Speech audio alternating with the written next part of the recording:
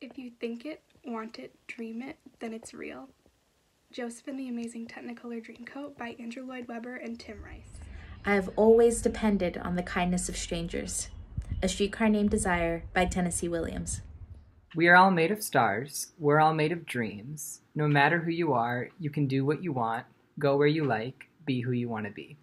From Finding Neverland the Musical by Michael Corey. The slotted spoon can catch the potato. Stephen Sondheim, Into the Woods.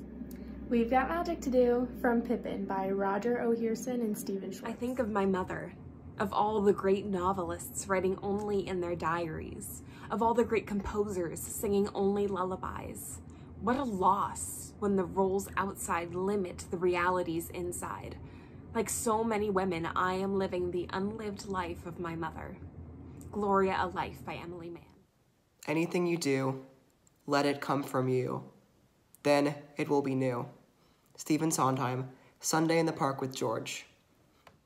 If you don't remove your hand from my firmly toned arse right now, I will scream this whole office down, and then I will recruit Pierce or Richards to sue the pants off of you, and then I will call your wife. From Girls Like That by Evan Placey. Don't you understand that these are dangerous times to be complacent? Back the Night, Melinda Lopez. A man can't turn tail and run just because a little personal risk is involved. What did Shakespeare say? Cowards die a thousand deaths. The brave man only 500? The Music Man, Meredith Willson. I don't know about all of you, but I, I do have a, a sudden craving, a, a burning desire, intense, painful longing for Cool Whip. On the Verge by Eric Overmyer.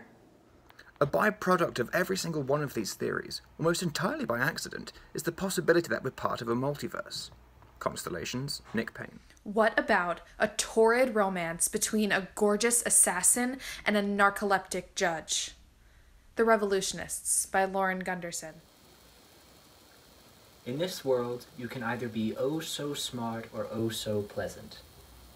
I prefer pleasant.